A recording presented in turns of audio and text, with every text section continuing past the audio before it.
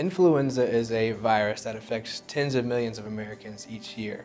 Flu season runs from about October through May each year. There are a number of symptoms to the flu. Uh, your average cold symptoms often cough, congestion, sore throat. Uh, in addition to that, we usually have some relatively high fevers, body aches, muscle aches, headaches, fatigue. Uh, you can have some GI symptoms as well. The, flu vaccine comes out each year in the early fall. The best time to get it is kind of the September, October, November range, uh, and that provides you with immunity all the way through the early spring. The flu vaccine, about two weeks after you get it, your body starts making these antibodies to fight against the flu virus that you may be exposed to later in the year.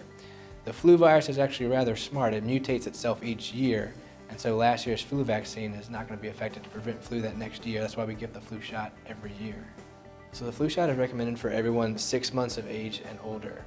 Uh, the real priority candidates are those who are 50 and up, uh, anyone with chronic lung or heart disease, um, anything from chronic kidney disease or anemia as well. Uh, the reason we, and even young healthy people, it's still indicated to get the flu shot, not only to prevent it for yourself, but let's say you have an elderly family member or a, a loved one who's undergoing chemotherapy for cancer. Those folks are, are, very susceptible to being seriously harmed by the flu, hospitalized, and unfortunately sometimes even killed. It, it uh, impacts those populations a lot harder.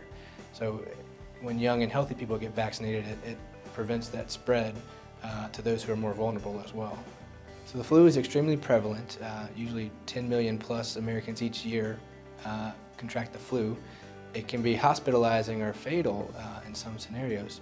Usually somewhere in the neighborhood of about 200,000 Americans are hospitalized each year for the flu, which is enough to fill Tiger Stadium twice, which is pretty staggering numbers. And on a bad year, as many as 10,000 people can be killed by the flu.